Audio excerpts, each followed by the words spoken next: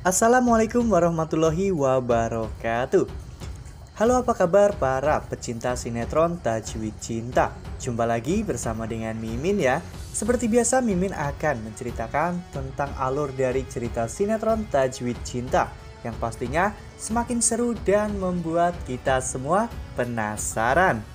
Di video kali ini Mimin akan memprediksi kemungkinan-kemungkinan besar yang akan terjadi di sinetron Tajwid Cinta untuk episode yang akan datang. Di mana di episode yang akan datang, Gafri dan juga Alina akan bertindak tegas terhadap Bu Mira dan akan melaporkan Bu Mira ke kantor polisi. Nah, kira-kira apakah nanti Bu Mira akan mengakui jika dirinya juga termasuk suruhan dari Bu Nadia atau justru sebaliknya Bu Mira akan bungkam dan merahasiakan semuanya. Tonton video ini sampai dengan selesai ya.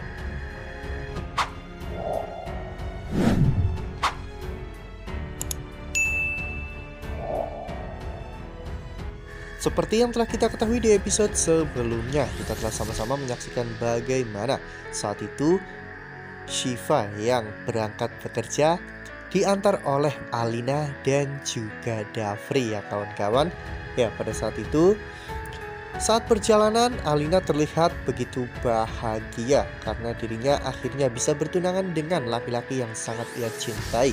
Namun berbanding terbalik di mana Shiva justru merasa sangat bersedih karena melihat betapa bahagianya Alina dengan suaminya ya kawan-kawan.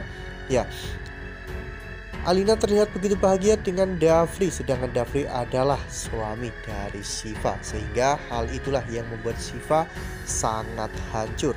Bahkan ketika Davri sedang bernyanyi bersama dengan Alina saat itu perasaan Siva pun semakin bertambah hancur. Lalu kemudian adegan pun berganti di mana pada akhirnya Siva telah sampai di tempat kerja. Ya, saat itu Shiva akhirnya turun dari mobil Davri ya kawan-kawan. Setelah Shiva masuk, ternyata Alina sangat penasaran sebenarnya siapa orang yang telah tega berbuat jahat kepada Shiva. Alina yang mengetahui jika orang yang telah berbuat jahat kepada Shiva belum ditemukan.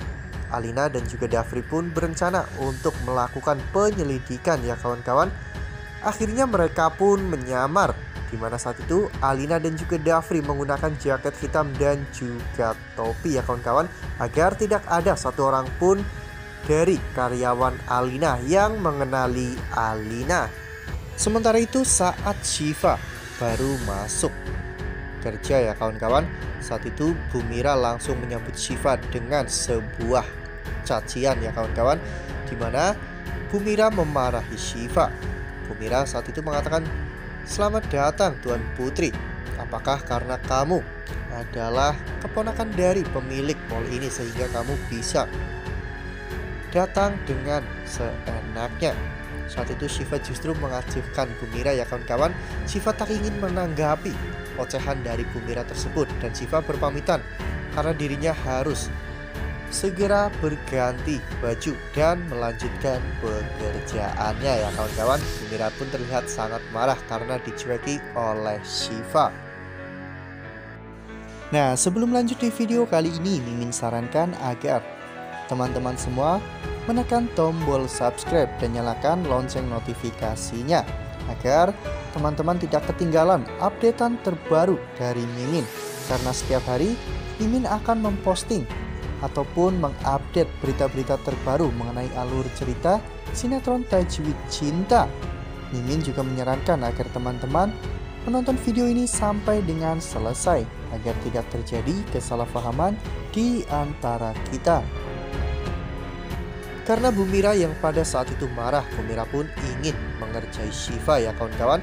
Saat itu ketika Shiva sedang mencatat barang-barang yang akan dikirim ke supermarket. Saat itu, Bumira justru malah ingin mencelakai Shiva ya kawan-kawan di mana saat itu ketika Shiva sedang turun menggunakan eskalator Bumira justru malah mendorong jatuh semua barang-barang yang berada di troli ya kawan-kawan saat itu Dafri dan juga Alina melihat semua kejadian itu. Ya, saat itu Dafri pun langsung berlari untuk menyelamatkan Shiva ya kawan-kawan. Karena Dafri tak mau jika sampai Shiva mengalami luka-luka akibat tertimpa dari troli tersebut. Seperti yang telah kita lihat pada foto ini di mana saat itu Dafri ternyata melindungi Shiva dari troli tersebut ya kawan-kawan. Hingga pada akhirnya troli tersebut justru malah menabrak Dafri. Bumira yang pada saat itu melihat bahwa ternyata apa yang dilakukan salah sasaran. Bumira pun langsung berlari ya kawan-kawan untuk menghindari Alina dan juga Dafri. Dafri dan juga Alina pun langsung bergegas untuk mengejar Bumira ya kawan-kawan. Saat itu Alina terlihat sangat marah Alina terus-menerus berteriak agar Bu Mira berhenti ya kawan-kawan. Namun Bu Mira tidak mau berhenti. Hingga pada akhirnya Dafri mengejar Bu Mira ya kawan-kawan.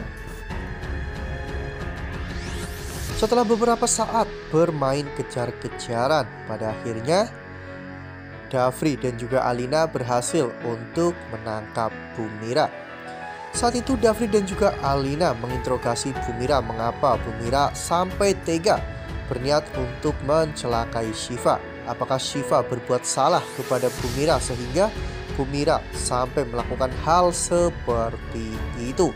Bumira pun terbata-bata sambil mencari alasan ya kawan-kawan.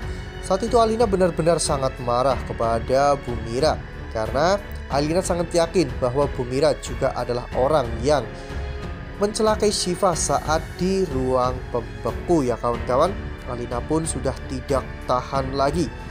Alina mengancam Bumira bahwa dirinya akan dilaporkan ke kantor polisi atas tuduhan mencelakakan Shiva ya kawan-kawan itu percobaan pembunuhan. Bumira pun dipaksa mengaku disuruh oleh siapa apa Bumira melakukan hal tersebut karena inisiatif sendiri.